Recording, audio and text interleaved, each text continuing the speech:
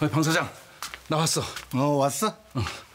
그 혹시 흥신소에서 무슨 소식 없었어? 요새 연락이 좀 뜸한 것 같아. 아 그게 저 흥신소 소장이랑 요즘 연락이 잘 안 되네. 아, 그 인간 혹시 돈만 먹고 튄 거 아니야? 에이 설마 좀만 더 기다려 보자고. 아좀 저 고사장 점포엔 뭘 할지 생각 좀 해봤어? 어. 아 글쎄 뭐 아직 생각은 못 해봤는데. 아, 저 금은방 어때? 응? 그 금은방? 어, 어. 아 현금도 제깍제깍 들어오고 뭐 재고 정리하려고 발버둥 안 쳐도 되고. 에이, 오히려 물건 쌓아두면 값이 오르니까 아, 이보다 더 좋은 사업은 없을 것 같은데. 아이고 좋, 좋긴 한데. 아 그러려면 자본금이 많이 들 텐데. 아 그걸 뭐하러 걱정해. 자네 사위 고사장이 있는데.